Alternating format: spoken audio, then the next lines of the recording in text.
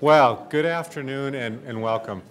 Uh, I'm Barry Rabe. I'm a faculty member here at the Ford School and the director of the Center for Local, State, and Urban Policy. Close up, we're very pleased to collaborate with our colleagues at the Nonprofit Management Center here uh, at U of M in sponsoring this event. You know, a major growing theme in issues of state and local government and governance involve issues of performance, how you measure it, how you manage for it, how one even begins to think about it. And here in Michigan, especially in the Snyder era, we're really in a revolutionary time thinking about how states and localities engage these activities, but it's true across the country. Another emerging theme in state and local government is public involvement, public participation, whether that takes the form of disclosure of information to the citizenry, holding a public hearing, or a ballot proposition. A really interesting question emerges when you put these two issues together. And I'm not sure that anyone has thought more about these issues or as thoughtfully as our guest today, Mark Funkhouser. Uh, Mark has a really intriguing background if you've read the bio sketch. Uh, has been involved in academia, a number of public service roles in local and state government, worked through the auditing ranks and became the auditor of Kansas City. During one of those years was named a Public Official of the Year by Governing Magazine. And then did what probably doesn't happen that often for those in the auditing ranks, ran for public office and won and became mayor of Kansas City, and now finds himself as an alum of Public Official of the Year, uh, working with Governing Magazine, blogging, writing a wonderful column in, in, Governing Magazine, and working very closely with states and localities as they think about a number of these really, really pressing, challenging, pressing, challenging kinds of issues. So we are just delighted to have uh, Mark with us today. Uh, we had a chance to meet him last summer uh, when he came to Lansing to convene a, a summit on different aspects of governance and, and, state and local issues here in Michigan. My understanding is he'll be coming back in the fall. And uh, his plan is to provide a talk on, on, on the, the, the, major theme, but to then allow plenty of time for, for question and answer and, and conversation as we go forward. Uh, but without further ado, please uh, join me in welcoming to campus Mark Funkhouser. Mark?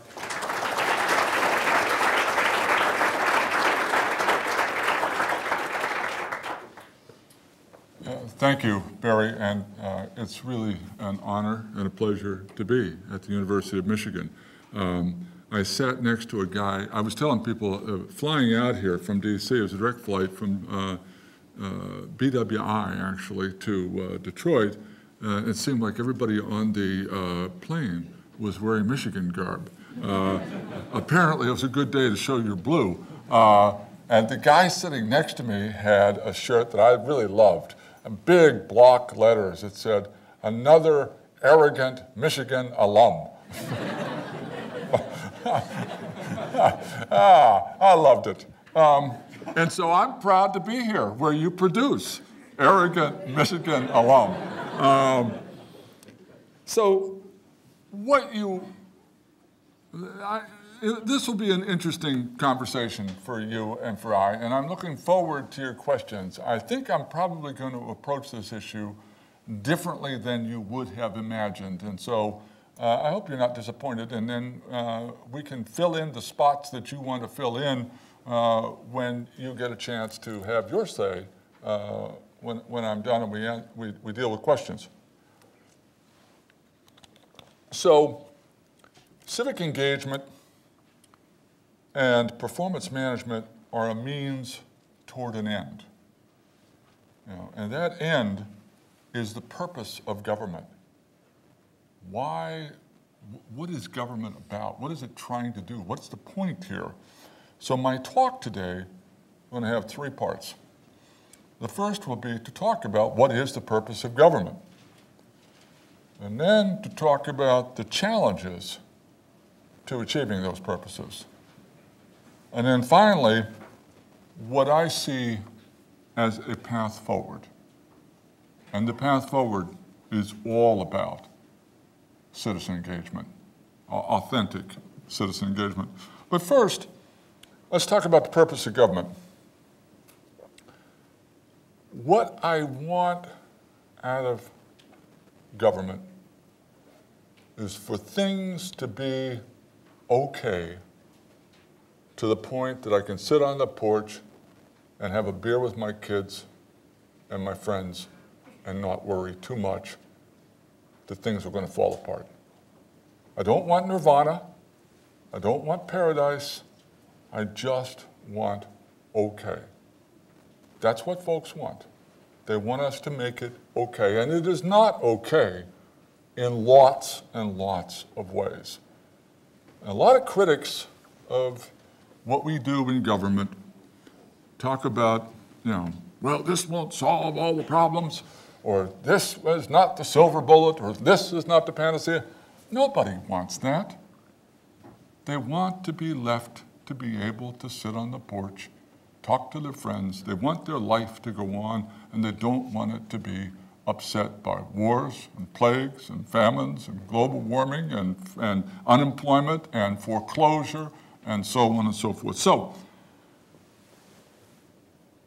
let's start with Hobbes, Thomas Hobbes.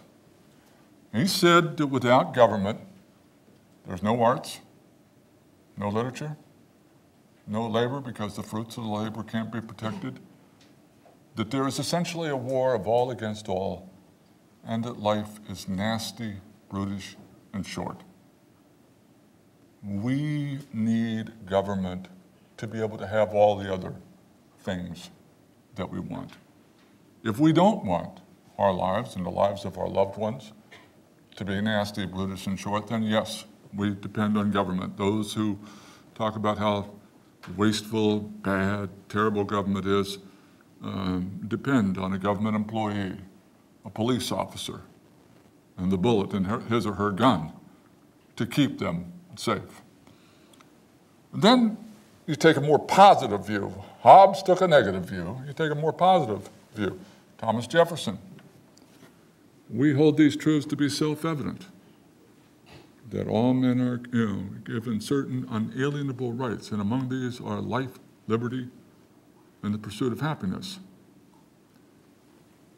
And then the second sentence of that Declaration of Independence. You know, and so we put among ourselves government to secure these rights, which you know, derives its just powers from the consent of the government. So those who talk about life, liberty, and the pursuit of happiness need to understand that Jefferson thought you needed government. That's, those are uh, your unalienable rights. But if you want to actually have them, you need government. And so you come forward another hundred years or so, and you come to Lincoln. And here you see a shift. Because up until now, we've been talking about laws, you know, regulation, as it were. Lincoln says the purpose of government is to do for us what we cannot do ourselves, acting in our individual capacities. Treat the sewage, build the railroads, whatever. I mean, Lincoln was big for infrastructure, uh, and, and right, I think. But he looked at government as a deliverer of services.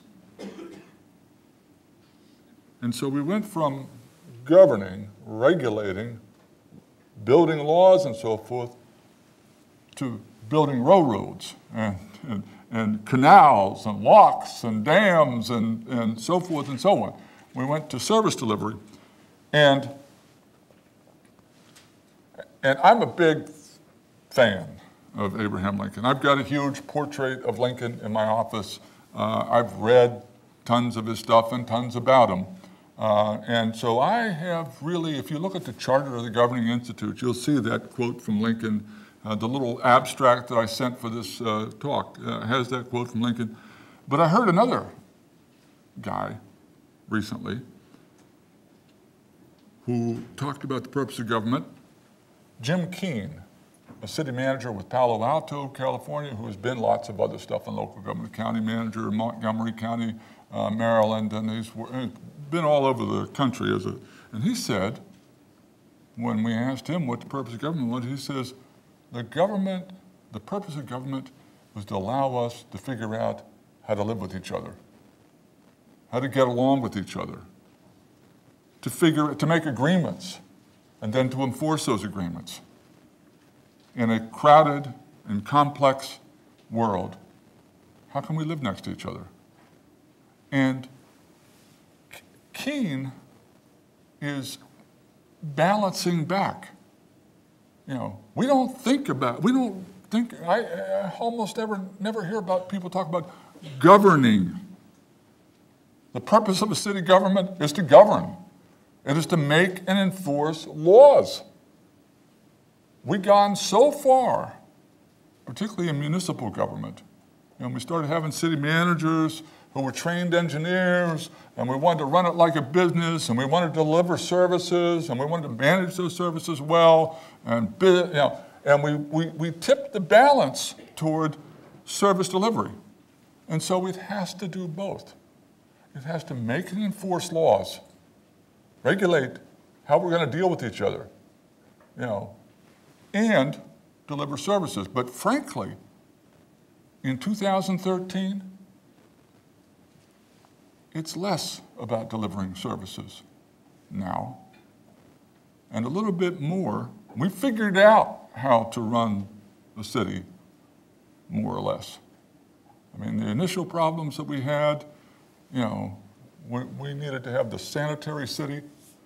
We, we figured that out. We pretty much know sewage treatment and so on and so forth, and streets and roads and all that. But now, figuring out how to live with each other is getting to be kind of a challenge. you know, yeah. What did Rodney King say? Can't we all get along? Well, apparently not. You know, and, and we need some help with that. So, so government, in order to have the community conditions, for in, in, in order for it to be okay, there has to be this balance where government has to deliver services and allow us to come together to make agreements and, and abide by those agreements. So what's the challenge? So that's the purpose of government. That's what we're trying to do here. The biggest challenge is the disconnect between the people and their government. People no longer, and this isn't just in the United States, although it's particularly virulent in the United States, people don't trust government. They don't have any confidence in government. They think government is inefficient, ineffective, and inequitable. And part of that comes from the denigration of politics. More and more, we have forgotten that politics is the sacred duty of a citizen. You know, it, it is your job. We talk about rights and taxpayers' rights, and so it is your job to be politically involved. And to the extent that we're not, this disconnect grows. People talk about, you know, how bad the government is, you are the government. You are the government. You know, I mean, Lincoln wasn't kidding when he said, of the people, by the people, for the people. And so it can't work any other way. That's how it is. We have denigrated politics, and we have more and more handed things over to the experts. And I'm reading a book right now by Paul Light, um, and it's called A Government Ill Executed. And he talks about the need to have a government that works well. Not, you know, aside from the issues of big policy and so forth, just a government that the trains run on time. You know, the garbage gets picked up, you dial 911 and a cop shows up or an ambulance, whatever you need. Things work. And he talks about the thickening of government, by which he means more and more layers, more and more bureaucracy, particularly in the federal government, more and more red tape. And here's the way I look at when, when I read what uh, Professor Light is writing about the thickening, I think about how distant the policymakers are from the, from the world they're creating. You know, in, in the class where, where uh, Mayor Walling and I were just uh, talking, somebody asked about public education. And uh, I launched into a rant uh, about public education, you know, uh, reform and so forth. When Bill Gates works to have schools like the ones where he sends his kids, we'll be in good shape. That's, you know, the, the people who design the policies are not impacted by the policies. They are not, they, the, the world is distant from them. They're not, they're not, they don't understand what it's like. You know, uh, I, Peggy Noonan, uh, who um, writes for the Wall Street Journal, was a speechwriter for Reagan way back when. Um, I read her stuff. Uh, sometimes it's reasonable, sometimes it infuriates me. She's got a right wing slant that is a little hard to take sometimes, but, but she has certain themes and she is a good writer. In this morning's blog, I woke up early, early this morning rehearsing this uh, in my head, and so I decided to go ahead and get on the computer and read some stuff. And her blog this morning picks up a theme that she has talked about a lot of times, and that is that the people in charge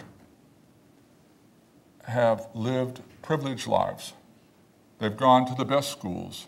They've never dealt with adversity, and they're always shocked when things don't work out. And she's specifically talking about the Iraq War, but she means the theme larger. You know, when I get on the bus uh, in DC, when I go to the metro and get on the metro, I know that the people who designed that system don't ride the bus.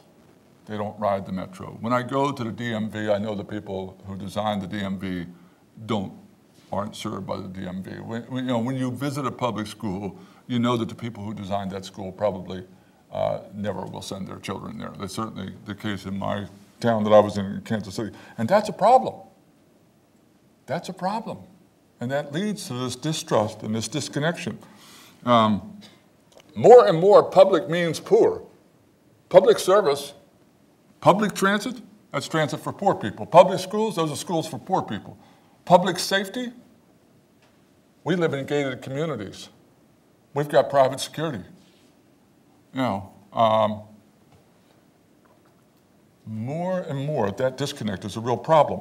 And so, in terms of citizen engagement, we have to be really, really smart about how to figure out how to make these connections. Um, I'm going to give you a quick example of what I mean. Uh, uh, there was a New York Times article, I think yesterday, uh, or maybe, maybe Saturday, uh, about the Atlanta school cheating scandal.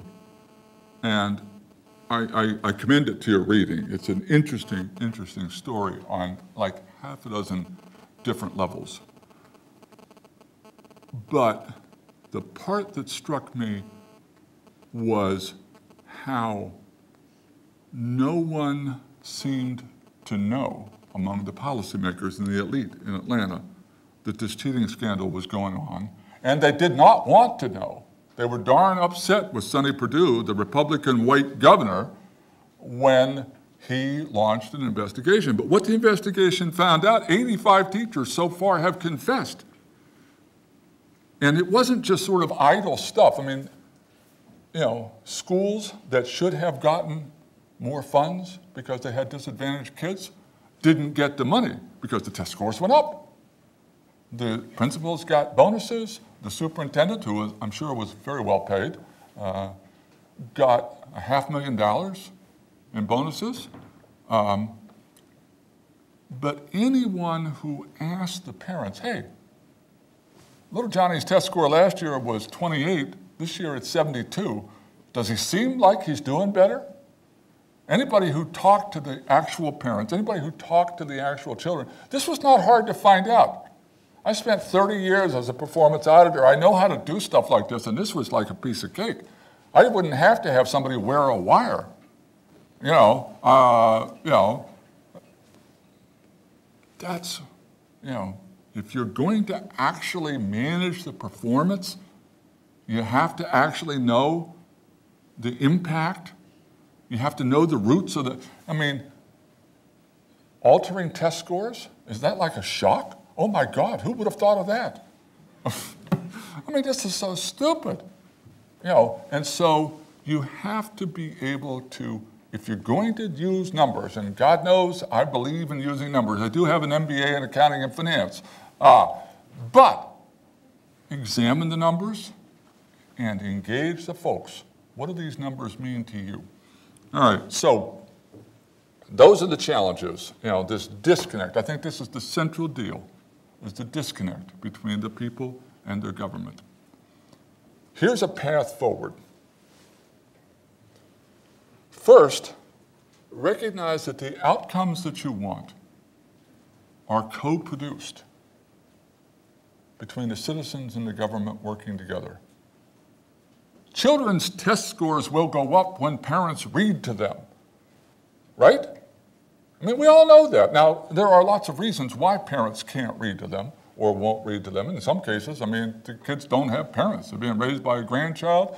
Uh, the parent's working two or three jobs. The parent has mental health issues. There's a million reasons. But the outcomes that we want are co-produced. The school is not solely responsible, and the parent is not solely responsible. The teacher who says, it's the parents, we're the public, uh, the professional, the policymaker who says it's the parents' fault. I blame the parents. No, these outcomes are co-produced. You know, as mayor in Kansas City, whenever there was a disaster, uh, you know, problem, you know, you show up, you talk to folks, you see what's going on. Uh, and we had tornadoes. I mean, we're, you know, Kansas City is, you know, kind of a mecca for tornadoes. And so when I would drive to wherever the tornado happened and get out of the car at whatever time it was in the morning, seven, eight, whatever, the sound I would hear, chainsaws. Chainsaws.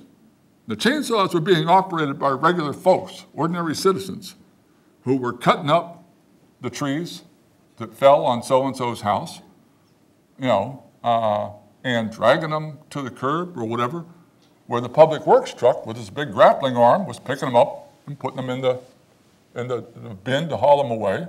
When people were rescued, you know, when we heard, oh, so-and-so's house fell on her, or so-and-so had this or that happen to them, the rescue was never by the fire department, the emergency. You know, the fire department is not there when a tornado levels your house at four in the morning. You know who's there? It's your neighbor. You know, so the rescues, I, I you know, the Loma, Loma Prieta earthquake, this is the first time this really like resonated in my head.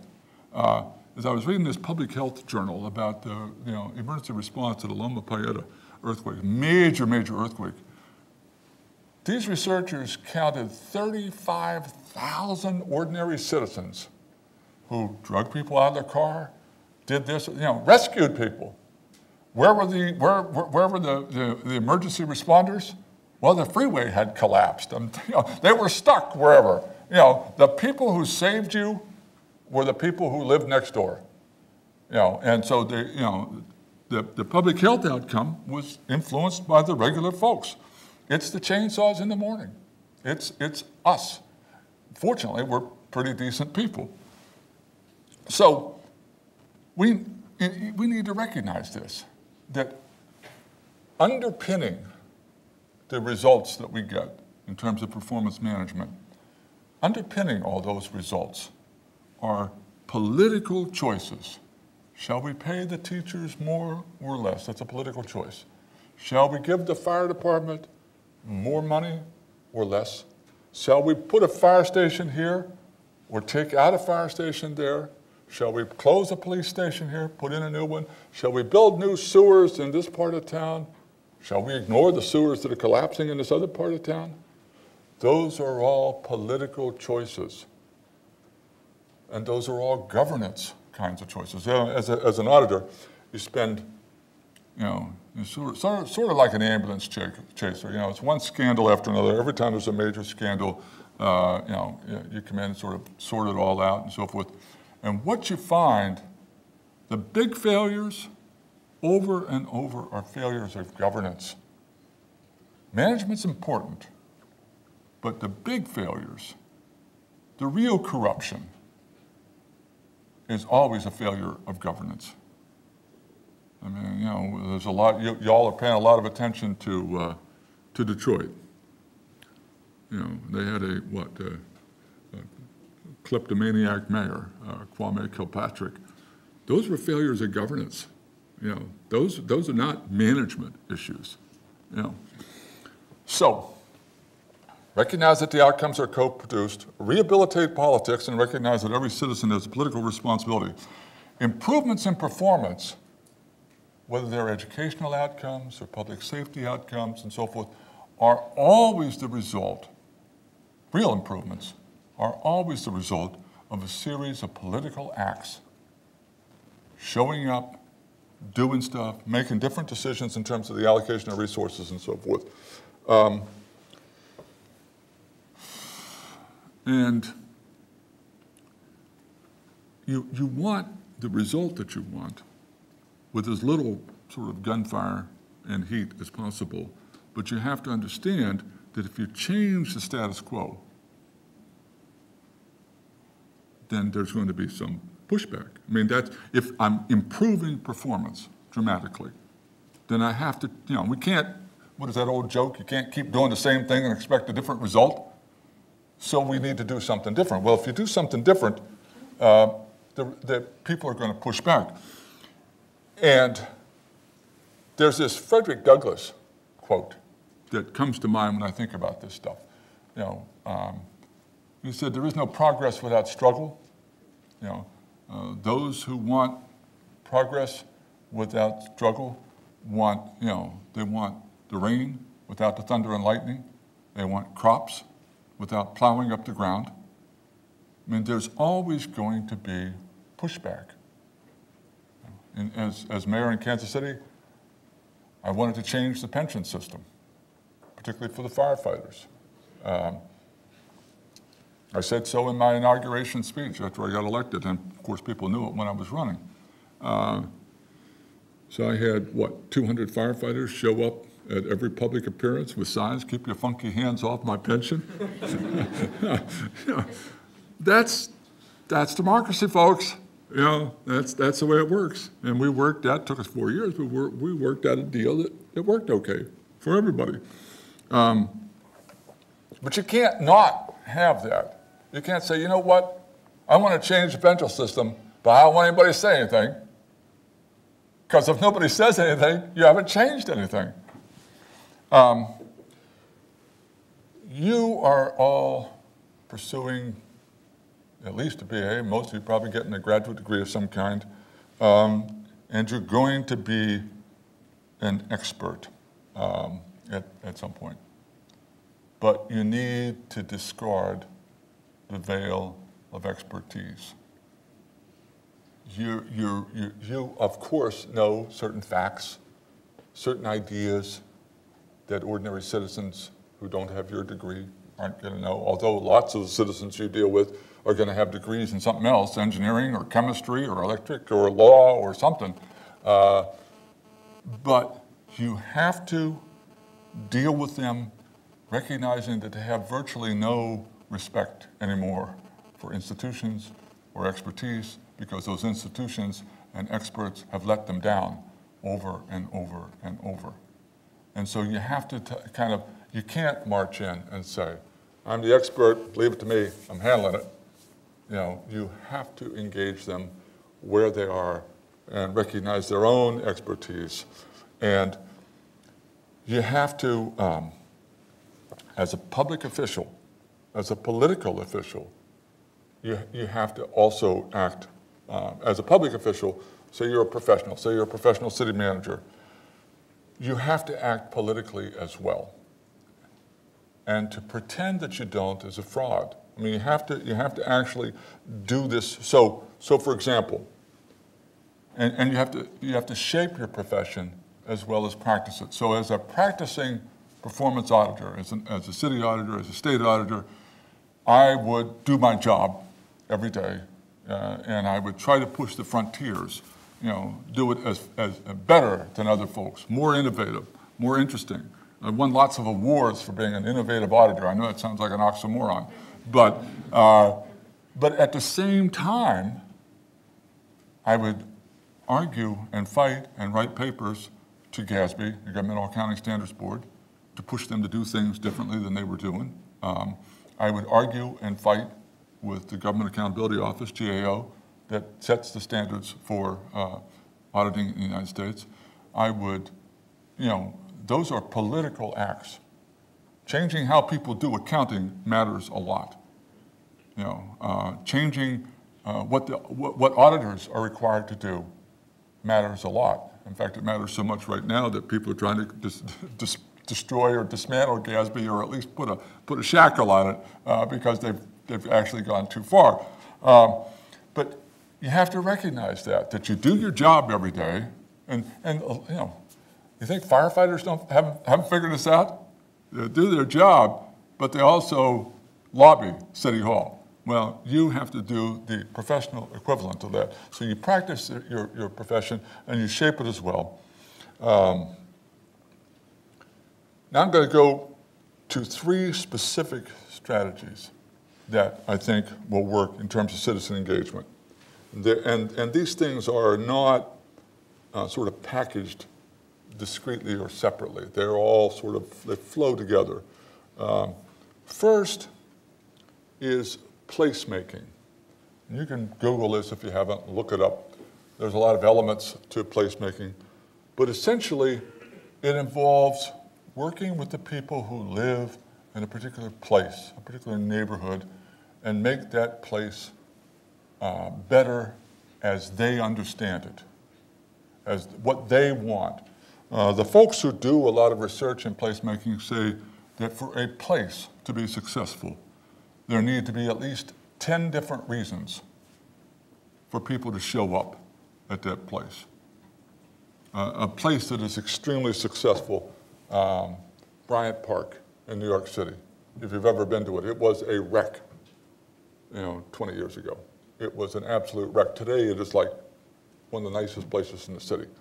Um, it, and I was talking to a guy the other day so I'm, I'm big on this placemaking. You know, Kansas City, uh, we had an affordable housing program where we would build houses, you know, in the distressed areas of the city. And we build brand new houses and nobody would buy them. Why would nobody buy them? They sit vacant literally for a couple of years. Nobody wanted to live there. What does a real estate agent tell you? Tell you it's location, location, location. A brand new house in a crappy location is, you know, so you have to make the location nice. But then this guy, um, uh, Rick Baker, used to be the mayor of St. Petersburg. Uh, and he was talking to me, one of our former public officials a year when he was mayor, uh, retired from that now. And he said, you know, it's got to be like Winnie the Pooh. I said, excuse me, Winnie the Pooh? He said, yeah, Winnie the Pooh's theory of downtown development, for example. Um, and I said, so please, enlighten me. This is placemaking. He said, you know, Christopher Robin and Winnie are walking along in the Hundred Acre Wood, and Winnie the Pooh says, you know, Christopher Robin, you're my best, best friend. He said, Tigger and Eeyore, they're my best friends because with them I can do anything. But you are my best, best friend because with you, I can do nothing at all. What Baker meant about that was that downtown should be a place where you would want to go for no particular reason, because it was just interesting and fun. And you didn't know what might happen if you went down there, but you would see other people.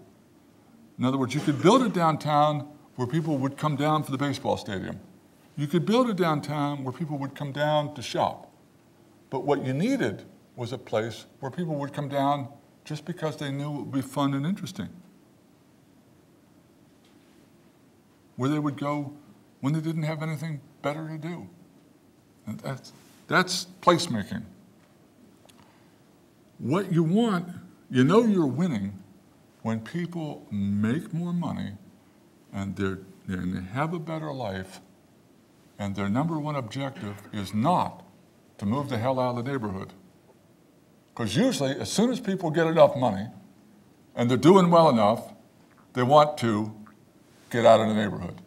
So your objective is to make a place, a neighborhood, that they want, that they're attached to, that they're loyal to, that they feel good about, and they want to stay in placemaking. And it starts with asking the folks who live there. It never works to bring in a new retail box or bring in a new stadium or bring in a whatever. This is not the kind of thing where you can spend a million dollars or a billion dollars and build something pretty and oh, it's one. Um, in fact, that works. It doesn't work over and over. Community economic development. Real economic development, again, focused on the people who live in the community.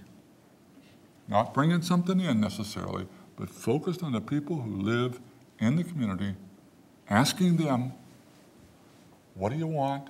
What would you like? What are your hopes, dreams, aspirations? How would you do better? And then allowing them, focusing on them doing better. Uh, classic deal here.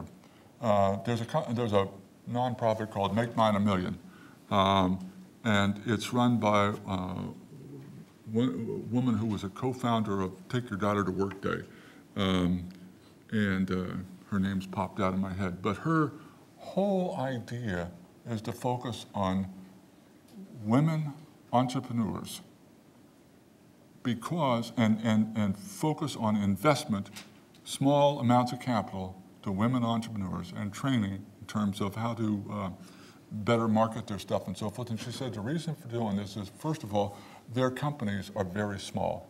They generally have 1.1 employees. And so if they could make more money and employ more people, you know, employment would go up and they don't leave. They're not footloose. They're not going to move out of the neighborhood. So, uh, make mine a million. She wants to take their, their average size of one of these companies is about 150,000, and she wants to make it a million dollar company. And she's got a real track record of success in doing this. Uh, but that's the kind of small, entrepreneurial, incremental economic development that is, that is community economic development. And taking venture capital kinds of funds and focusing in on those kind of people. And then finally, and this is the thing that is the most important, and it weaves together all those other things, is deliberative democracy.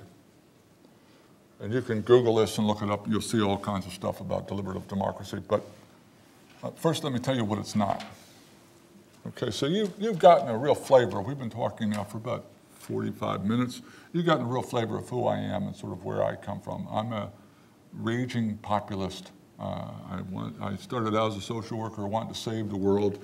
Uh, I still sort of want to save the world. Uh, uh, and so I really worked as mayor to try to engage with regular folks. You know, I did 116 town hall meetings as mayor. You know, take all comers, answer all questions, stay as long as they like, um, and, uh, and so on. And I'm here to tell you it was ineffective. It did not work. Because who shows up? It's the usual suspects, no matter how hard you try. Who speaks up? You know, you got 100 people in the audience, 15 of them talk. Is that representative of the 15? Is that a balanced, interested point of view? No. That's whoever could get the microphone, whoever could yell the loudest, whoever could be the most provocative, whoever could call the most attention to him or herself, whoever was most successful in getting a soundbite on the evening news or in the morning paper. That's, you know, so and so told Funkhouser last night to thus and such. And they get their, you know, seven seconds of fame. No, that didn't work. I wish I knew about this stuff when I started. I wish I knew about it as well as I know now. Deliberative democracy is this. And, and Mayor Walling just left, but he described it in a previous class. He's doing some of this in Flint. First of all, you take a representative selection of the people in, in the town, in the jurisdiction. Um, and you get, you know, so you, you deliberately make sure that you have one of these, two of those, and 12 of the others, and so on and so forth, so that income and race and gender and uh, language. Everything is, re- represents the actual population. And you will have to find, you know, you have to provide transportation, you have to provide child, child care, you have to provide food, uh, you know, you may have to provide translation services. But you get these people together, and then you get them together in significant numbers. So at least 100 or so, and maybe several hundred. I've been, I've been in del- deliberative democracy forums with 1,500 people. I've heard about them with four or 5,000 people. Uh, and you put them at tables with about eight or nine persons, again, carefully selected so that it's a diverse group, at each table with a professional moderator, with a person who's able to moderate a discussion in such a way that the loudest, the most educated, the most articulate doesn't dominate the discussion, that the shy, the quiet get a, their, their voice heard also. And you give it time. So it's not just, so what do you think? Everybody put, their, put up their hand. But they deliberate. They talk about it. They trade points of view. They share experiences about what they think about the situation. You give them data. You give them real facts about whatever the issue is, whether it's public education or transportation or whatever, whatever the pressing problems are for the jurisdiction that you've convened them to talk about. You give them real data and real facts. And you let them, and you ask them questions, and they debate those questions. And then there are ways to you know, basically do the instant voting, so, so forth. And so this, you know, each group comes up with their answer to the question. Um, and the, there's uh, usually uh, the ones that I've seen. Uh, so there's the moderator. Then there's somebody sitting there at a laptop pounding in what folks are saying, the major themes and so forth, what the answers to the questions are. And they're feeding this to a central group who are for the whole 100, 500, 1,000 folks, taking in from all the different tables uh, the, the uh, stuff. And then every once in a while, they put it up on a board for everybody to see, and you do the instant voting. How many of you think what we ought to do to deal with transportation, for example, in the Washington, D.C. metropolitan area? Um, you know, we need X dollars to maintain the metro. We have X minus Y. We got a funding gap. What do you think we ought to do? You know, cut metro service, you know, add uh, a tax and so on and so forth, and people vote. You know, uh, you know, and then they discuss, well, see, 70% of the people want to do X. What do you think about that? And they discuss some more, and they take time. It takes time. But over the course of time, over the course of, say, six or seven hours a day, the people begin to have confidence in each other. They begin to understand each other. They begin to have a, you know, a sort of sense of camaraderie, and often what they want to do is stay together afterward. You give them the option to trade phone numbers and so forth, and they say, yeah, you know, I really got to know Susan here. You know, and even though she lives in a different part of town and she has a different point of view, I think, you know, I, I think I'd like to stay in touch with her. It's connected to political leadership. This can't go on, this deliberative democracy stuff can't go on sort of over here with the city government or the state government or whatever over here. The political leadership needs to be engaged. They need to be there. They need to hear the discussion. They need to see what's going on. People need to see them.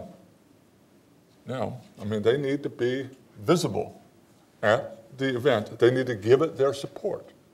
Yeah, I'm going to listen to what y'all have to say here today. And the political leadership needs to commit to follow through. Yes, you all have said that what you would like to do about this is X or Y and so forth. And so I'm going to try and do that. And I'm going to report back in this way or that way. There's going to be a website.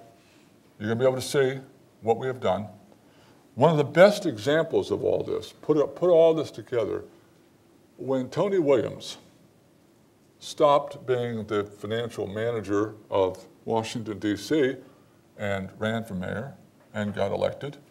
Uh, you talk about, I mean, Tony was ex-GAO, a bean counter, uh, you know, and who had been imposed by the federal government uh, and fought with Marion Barry the whole time uh, and ran for mayor, got elected, and every budget that he did for the first five or six years was built on this kind of community engagement. He used a not-profit called America Speaks, and he did this.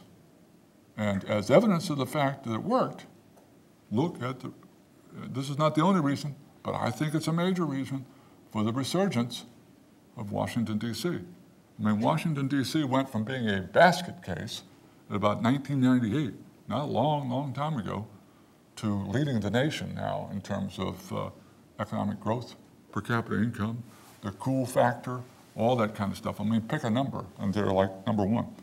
Um, so, all that stuff, what's that got to do with performance measurement?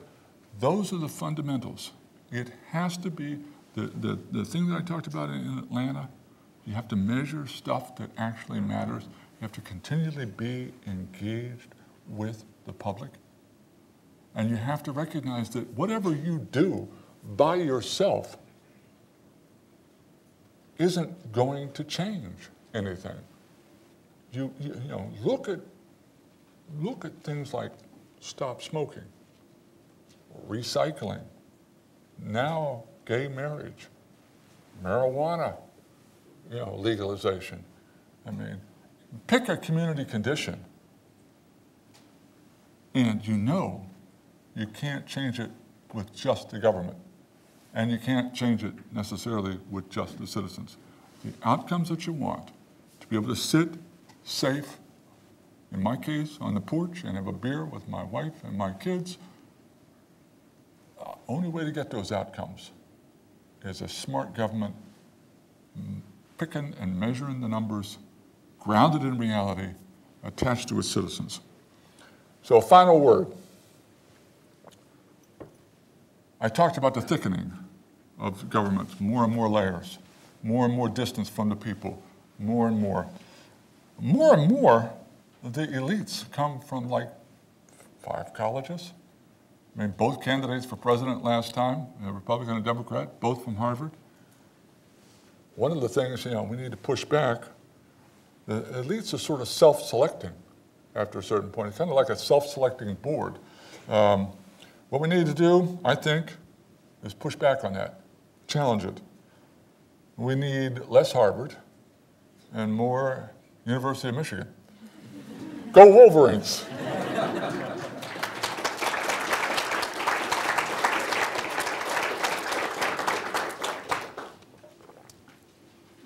What would you like to talk about?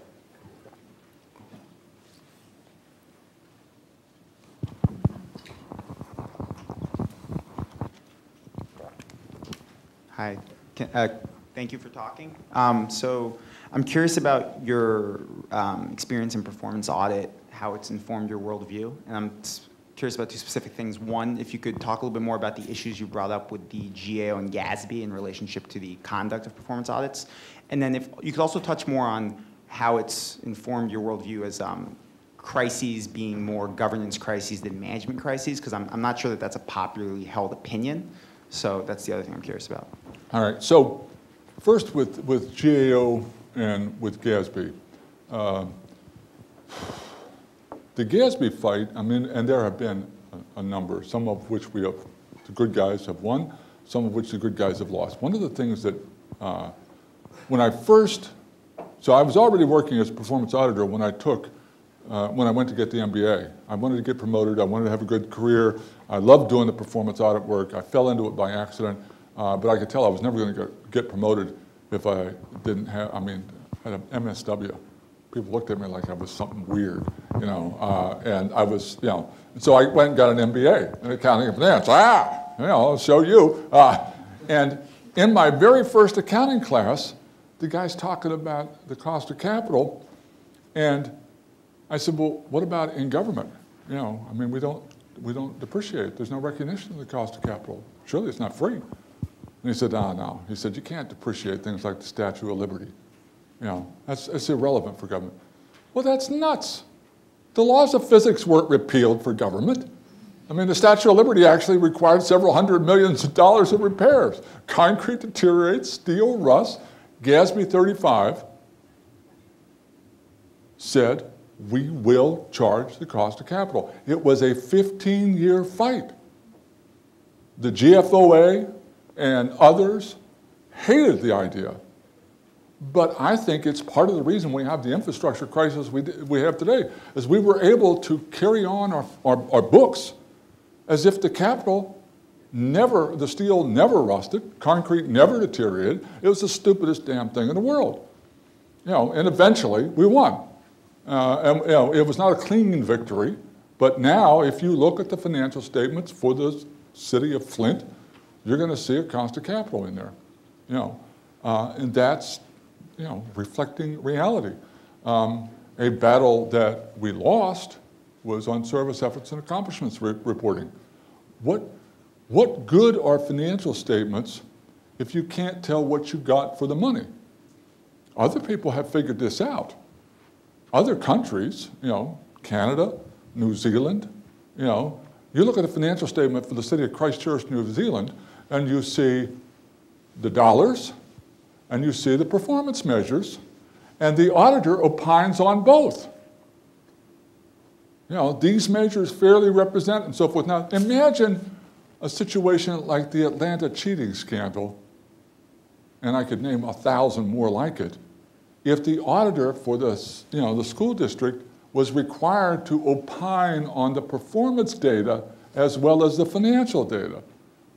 You know, and, but, but the, the, the forces of evil won that fight, and we haven't got that yet. So, and with GAO, well, the first fight was to call it performance auditing, and we won. Uh, you know, we were, you know, when, when performance auditing first came about uh, in the late 70s, it was operational auditing, it was expanded scope auditing, it was whatever. It, it, you know, and we couldn't figure out what it was, we couldn't define it, uh, and I and others won a fight with GAO. A, it's performance auditing, and B, here's the definition. Uh, and, and, you know, since GAO is sort of the bellwether for the world in many respects, it certainly was in the 70s, uh, less and less so today, um, the rest of the world went that way. So now if you look into INTOSAI, the International Organization of Supreme Audit Institutions, um, you have performance audit standards, you know, called performance audit, defined correctly, coming from INTOSAI, worldwide standards. You look at the Auditor's Office, Auditor General for Kenya, use performance auditing. You know, so it, so that, that, that's a fight we won. A fight that uh, got a very, very small partial victory was uh, the audit standards, and again, this is what drives all the auditors. They're, they have to do the standards. They're required to do it. They talk about efficiency and effectiveness. I wanted them to add equity so that we would opine on the efficient, efficiency and effectiveness and equity with which dollars are spent. The reason that's important is that the city of Kansas City is not Walmart. It's not, I mean, we have a police department. We, we give the government, you give the state of Michigan, you know, the city of Ann Arbor, you give it money. You also give it authority and responsibility. A police officer has the authority to shoot you dead. The city of Ann Arbor has the authority to issue a permit or not to condemn your property or not. In other words, you know, there are multiple opportunities for the abuse of equity, just as there are for efficiency and effectiveness. And I wanted GAO to recognize that in the standards. I've fought with them about 10 years, and there's a niggling little something in there now, but it ain't much. But that stuff, that stuff really shapes the world in ways that, that most people don't understand. You know, I, like I said, I think we have part of the infrastructure crisis we have today is because for 150 years we pretended that you know, you know capital only managed mattered, if it was a private business. It didn't matter if it was public.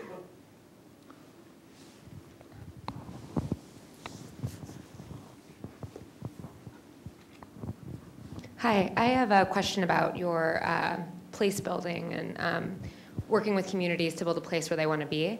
And I think that that is a very important part of building public policy and um, meeting the needs of people. But the other part of that conversation is what happens after, which is often displacement or gentrification.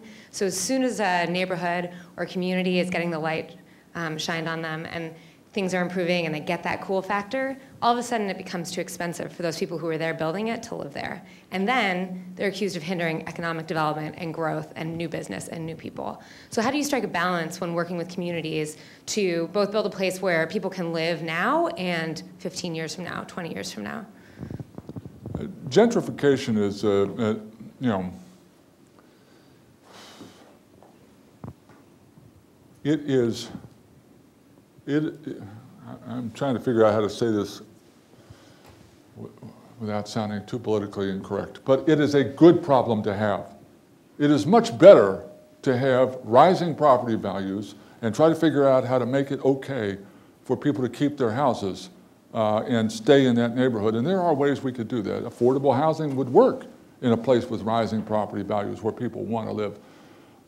But it is so much better a problem to have than the problem that Detroit has, that Kansas City has, that Flint, Michigan has, that, you know, where property values are declining rapidly, uh, you know, and people are trapped. Uh, it's kind of like bad traffic downtown. Whenever, whenever somebody comes to visit in D.C., for example, uh, they talk about how horrible the traffic is. That's because people want to be there. So there are ways to deal with gentrification, and we should try to think about that. But we should get ourselves to a place where that is our problem. You know, we want to get to a place where we have to figure out how to keep, you know, so and so in his or her house. Because what I saw, I, I, I used to have maps on the wall in the mayor's office that would show me city blocks where there was one house occupied, two houses occupied.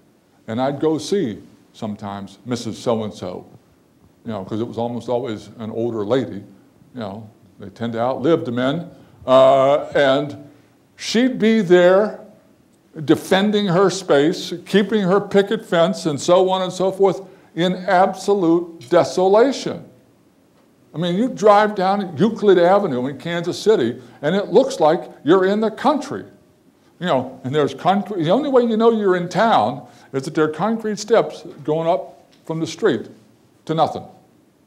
Houses have been torn down 20 years ago. And then you come to Mrs. Smith's house. You know, you know, so, uh, you know, she's worse off than, I think, than if she were surrounded by a neighborhood that was sort of trying to price her out. We can find ways, circuit breakers, homestead exemptions, we can find ways to help her keep her house and stay there. It is also true that, you know, unemployment is always a problem. Em, you know, employment for, for people without skills is always a problem. But again, to have the tax base from which to work on those, to be, to be able to support the community college system, the vocational system, and so on and so forth, that's just a dream in places where the property values are plummeting, and, and particularly in the United States. You know, Mayor Walling talked a lot about this uh, in the class, uh, you know, that he and I were just in about Flint, where most of the most of the money is property values, property tax. You know, you're just in a world of hurt. So gentrification is a problem, but it's a good problem.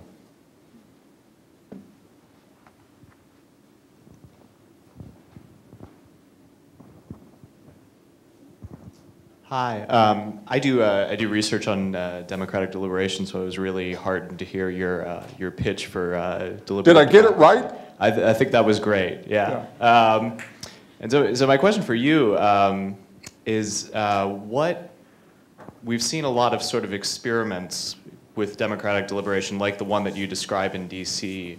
Uh, and you know, sort of small scale things that happen occasionally all around the country.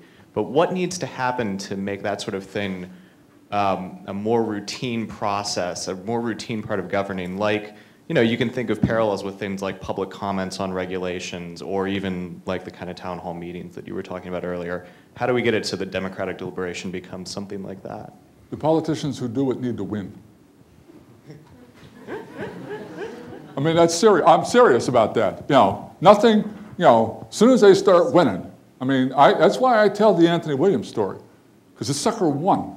And he won in ways that people wouldn't have thought. And Adrian Fenty did not do it, and he got beat.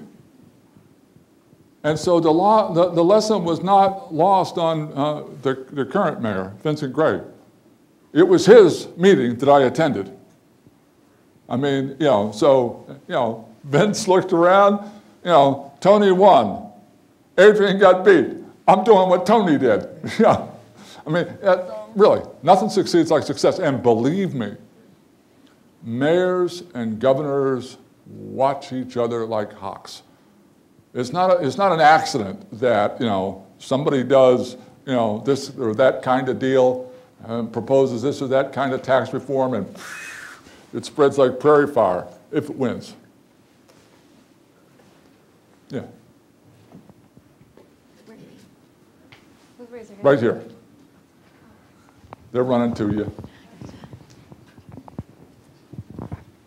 Um, I had a question on your example about the DC transportation system, and we had a course at the beginning of the semester talking about transport. And one of the things I realized was um, I represented one of the agencies advocating for the people in the community, and yet when asking the president or the director of the organization if she'd ever or she routinely rode the transportation, um, public transport, she definitely did not. And I guess when you talk about how how to get, how to minimize the loudest voice in the room, and you go to those public forums, but you continue to hear the same people. How do you put yourself in a situation where you are hearing the other voices, or or everyone has an opinion, but the people who really utilize the resources, what what would you advocate for the best way to do that? Well, a couple of things. Uh, One, the, the techniques of deliberative democracy that I talked about, where you recruit people and so forth, where you don't wait for volunteers, you sort of go get them and, and make it really, really easy for them to come. But, you, but with regard to transit, you do want to listen to the people who don't use it also, because you want them to use it. You want to figure out why they don't use it. I mean, you want to grow your customer base, so to speak, uh, and you want to figure out why they don't use it uh, and, and get them to use it. But uh, I, I have a friend who's my age who retired from Disney World uh, in Florida, and he spent an entire career there in accounts payable and, you know, basically the accounting stuff, except that every year he had to go out as, you know, Chippendale or whatever and mingle with the folks on, you know, and he had to do the, the, the silly stuff that makes Disney World run. And so, you, uh, you know, so-and-so is the operations manager or the chairman or whatever for your transit agency, I think they ought to drive a bus a couple days a year. I think they ought to ride a bus a couple days a year, and it ought to be part of the job. Just like my friend at Disney World. I mean, you, you, you know, you can't know what it's like otherwise, and you make stupid decisions. Now, there are lots of good quote unquote, marketing techniques in between. Of course you can do focus groups and you do rider surveys and so on and so forth. But until you do it yourself, you have no idea what it's like. I mean, so here's a guy or a woman regulating, say, an amalgamated transit union, you know, 500 bus drivers, never once having sat behind the wheel and driven a bus, say, in DC. I mean, I ride the bus a lot. Uh, I see all the public criticism. I wouldn't have those people's job for nothing. I mean, my God, I can't even drive in that city hardly without wanting to resort to gunfire. Uh, you know, I mean, you know, and you know, there's every once in a while there'd be some outrage in the paper. Oh my God, they make sixty-five thousand dollars a year. Why shouldn't a bus driver make sixty-five thousand dollars a year in D.C.? That is not a lot of money to live there. And shouldn't they have, be able to have a, a middle class life and raise their kids and participate in the community and so forth? So to me, I want to know what the non-riders think I want to know what the riders think, but I, but you have to cut through that thing where the chairman or whoever's in charge has never ridden a bus, never driven a bus, never been involved.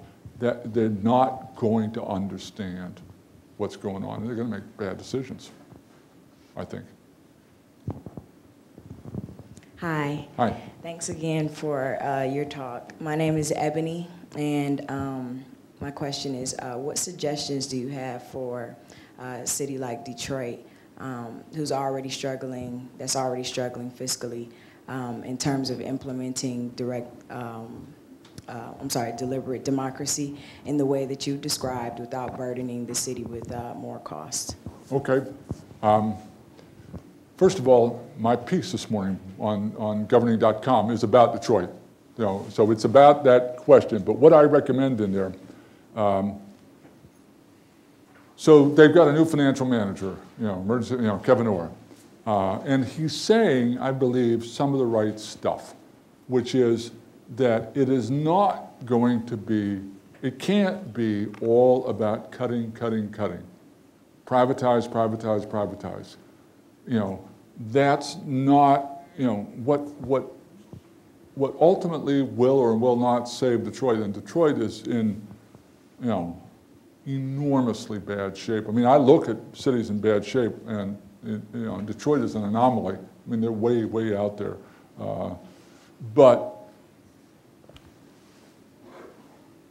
there is a loyal core of people who still are willing and able and happy to live in Detroit and pay taxes. And that group of people needs to be respected and dealt with and honored, and we have to find a way to grow that base. You know, there is, there is a reason why there is a city there. And whatever that original reason is, has to be reconnected with and, and, and rebuilt. Uh, it, you know, of course you want to manage the money well. Of course you're going to have to bring revenues into line with expenditures. Uh, of course you don't want to waste money. But if you can't get people, middle class people, moving into your city and staying, you're never going to make it. You're, never going to make it. I mean, that is the bottom line. You have to, you have to. Uh, now, more than ever, people can live anywhere they want. I mean, they can, they can live anywhere. My, company is a, a, national company. We've got people across the United States.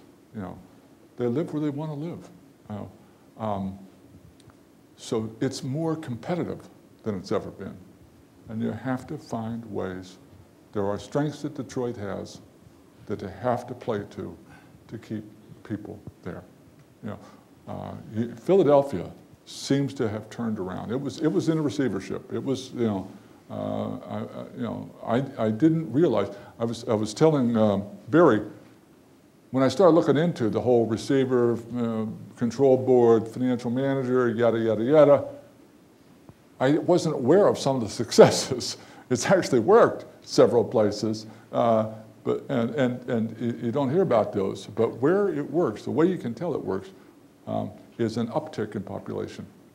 Philadelphia got an uptick in population for the first time in like 40 or 50 years. I actually did a column where I went and looked in the 2010 census at every city that got an uptick in population for the first time in 30 or 40 years.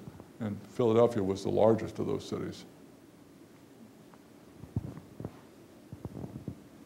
It, it seems that most people who are elected mayor or to a city council suddenly feel they have the divine right of kings, and they really show no interest in the public's participation in decision making. In fact, they really see it as bothersome. And how do you uh, overcome that to Um, implement the things you have been talking about? You know, I talk to a lot of mayors. Um, Uh, a lot of them. And I don't generally feel that. I don't generally hear that. What I, but what I, but I do see this.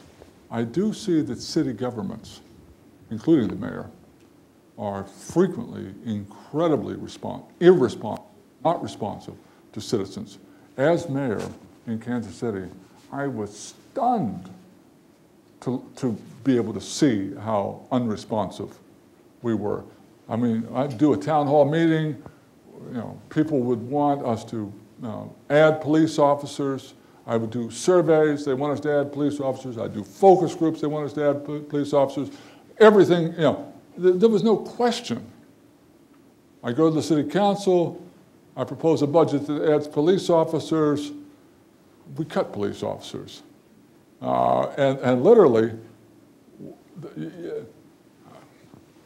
there is no limit, I guess, to how stupid, cynical, venal, bad politics can be within the city hall.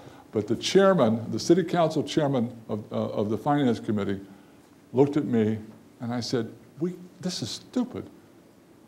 We can't do this. Why are you doing this? And she said, I don't like the police chief. I want to teach him a lesson. He wasn't nice to her.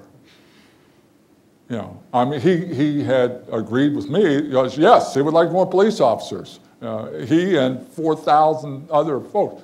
But, but the decision was, you know, the hell with it.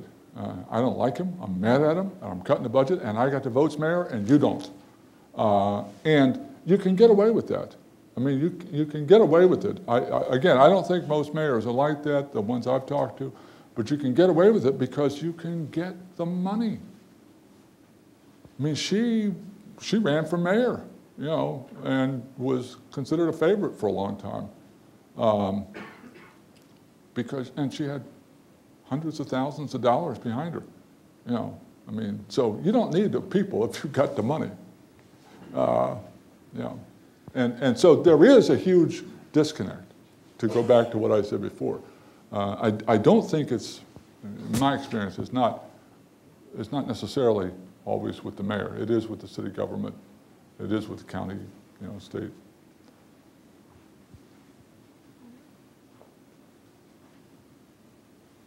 Y'all done? Have I wore you out? Ah.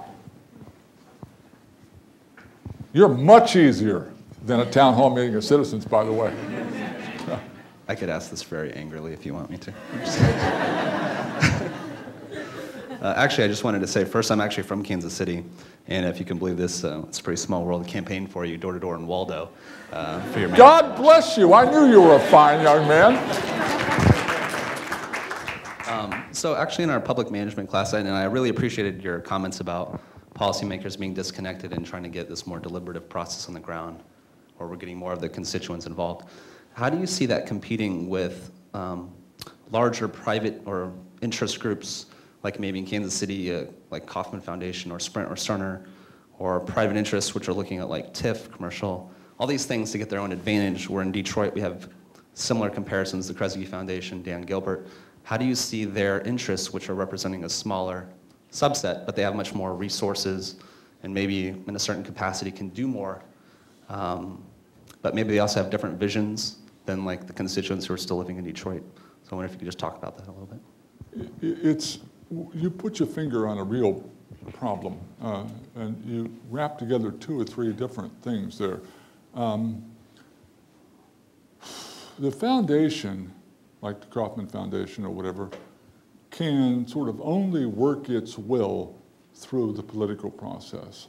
You know, I mean, ultimately, you know, they either can get, you know, in Kansas City's case, seven votes on the city council or not. Or sometimes they can circumvent the city and go to Jeff City, to the, you know, or Lansing, uh, the state capital, and get a, a preemption. Um, and so that's, you know, and other than sort of limiting money into campaigns, and of course making it much more transparent, and I don't, and I don't know how you can limit money. I mean, everybody's tried the various campaign finance stuff. Only make it more transparent is about the only thing I can see. Uh, but with, with, with regard to TIF, tax increment financing, and that sort of stuff, um, those are flat out bribes. Those are just bribes. I don't, I don't, uh, it, I can't tell you. Um, I, I, I would say to so-and-so prominent individual, and, and so you got to raise money, right, to run for mayor. In fact, in Kansas City, you got to raise a lot of money, hundreds of thousands of dollars, and you got to ask people for money. And it's like Willie Sutton said, you got to go where the money is. Uh, I never talked to so many millionaires until I decided uh, I wanted to be mayor. And so you ask him, I'd like your support. And he says, oh, it depends, what's your position on TIF? And you say, well, in very carefully controlled circumstances, I think it makes sense. But most of the time, it's not a good idea. I said, oh, well, thank you. And, you know, $50,000 to the other guy, who, by the way, wins. Uh, you know, um, so that's just, I mean, we ought not to do that. And there has to be some sort of national law. I mean, there has to be some sort of stop to that. I mean, what, the New York Times recently did a piece, really great investigative journalism on this. $80 billion a year in, in tax expenditures, tax preferences. If I go and pay you essentially, you know, X thousand in bribes, and basically I'm, you know, you, you're given a certain amount of money, I will give you so much in future tax donations or, or, or tax uh, forgiveness for campaign contribution. It's essentially what it is. It's just, it's just corrupt. But you're not going to stop it without some sort of national law. And it ought, it ought to be illegal, right? It ought to be illegal. There's a Walgreens across the street from a CVS, and Walgreens pays three times as much in taxes as the CVS because they got a tax deal, they had a better tax lawyer. That's just corrupt. You know, in Kansas City, I mean, it was virulent. Then I got elected, and we put a squash on it. Um, and then when I ran for reelection, I don't know whether you were involved there, but there were all these grainy photographs of television commercials, and you can imagine how I looked in those kind of parodies. Uh, but there's in black and white, slow motion, this great big bearded guy just stomping on jobs and killing jobs. You know, whatever, you know. It, it is always good to have a job stomping, innovative auditor, raging populist in your midst, especially when that's Mark Funkhouser. Please join me in thanking Mark for sharing some time with us today.